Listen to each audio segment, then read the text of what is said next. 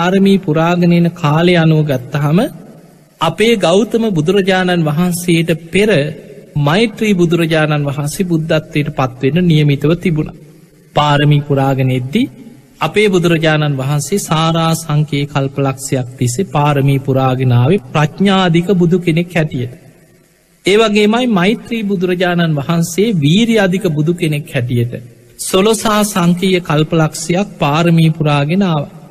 මෙහෙම පාරමී පුරාගෙන එනකොට මේ මහා බඩ්්‍ර කල්පයේ බුදුවෙන පිළිවල අනුව ගත්තහම අපේ ගෞතම බුදුරජාණන් වහන්සේට පෙරයි මෛත්‍රී බුදුරජාණන් වහන්සේ බුදු එන්න නියමිතව තිබුණ.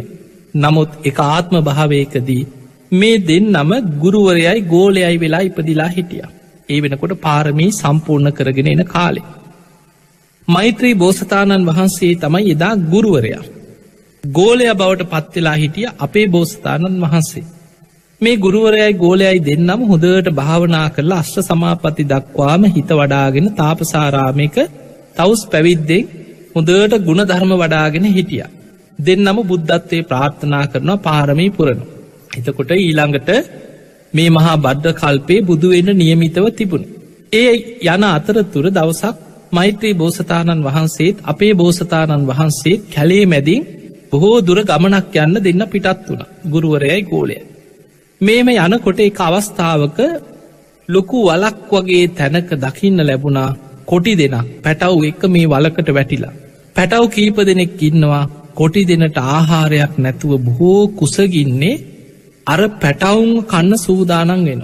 බීම පෙරලෙනවා දරාගන්න බෑ කුසගින්නට පුද්දුම වේදනාවකින් පැටව් කන්න හදනවා ආයමත් දරු සෙනෙහස නිසා ආයමත් කුසගින්න දරාගන්න බැරුව බීම පෙරලෙනවා වේදනාවෙන් ඉන්නවා.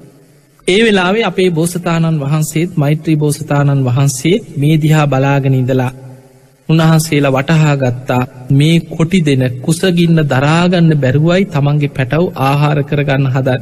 එවෙලේ මෛත්‍රී බෝසතාණන් වහන්සේ කියන අපේ බෝසතාණන් වහන්සේට ඔබ චුට්ටක් ඔතනට වෙලා බලාගෙන ඉන්න පැටව් කන්න ඉඩ දෙන්න එපා. මම ඉක්මනට ගිහිල්ලා කොටි දෙනගේ කුසගින්න නිවන්න ආහාරය යමක් හොයාගෙන එන්නම් කියෝ. කියල මෛත්‍රී බෝසතාණන් වහන්සේ මේ කොටි දෙනගේ කුසගින්න නිවන්න මොනවහු ආහාරයක් හොයන්න කැලේට ගිය. අපේ බෝසතාණන් වහන්සේ දැම් මේ දිහා බලාගෙන ඉන්න කොහොම හරි පැටව් කන්න නොදී බේරගන්න අර ආහාරටික අරගෙන එනකා. බොහෝ වෙලාවක් ගත වුණා බැලුවා බැලුවා එන පාටක් නෑ තාම මෛත්‍රී බෝසතාණන් වහන්සේ ආහාර හොයමින් ඇවිදින. එහෙම ඇවිදිනවා එන පාටක් නෑ අර කොටි දෙනට කුසගින්න දරාගන්න බැරිම තැන පැටවුන්ව කණ්ඩ සූදානන් වෙනවා. ඒ මොහොතෙ බැලුව එන පාටකුත් නෑ. අපේ බෝසතාණන් වහන්සේ තමයි එතන ආරක්ෂාවට තියලගී. උන්වහන්සේ කල්පනා කරා මම ලෝතුරා සම්බුද්ධත්වය පිණිස පාරමී පුරාගෙන යන කෙනෙ.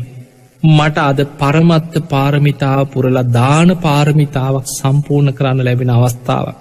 මම මගේ ජීවිතේම ආහාරයක්කොට මේ කොටි දෙනට පූජා කරනවා.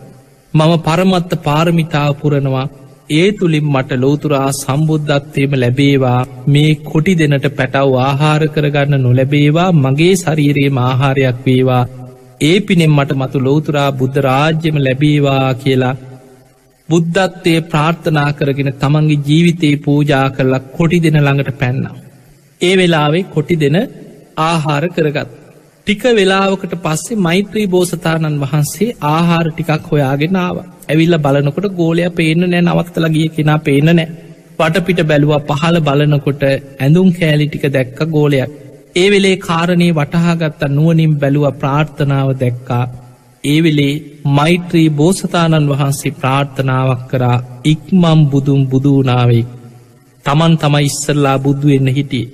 පාරමී පුරාගෙන ඇවිල්ල මෛත්‍රී බෝසතාණන් වහන්සේ මුලින්ම බුදුවෙන්න හිටියේ. නමුත් මේ කරපු පරිත්‍යාගේ නිසා ඉක්මම් බුදුම් මට කලින් බුදුනාවේ මම ඊළඟට බුදුවෙන්නම් කියල ප්‍රාර්ථනාවක් කරලා අපේ බෝසතාණන් වහන්සේට ඒ කරපු පරිත්‍යාගේ මත මට කලින් බුදුනාවේ කියන ප්‍රාර්ථනාව කරා.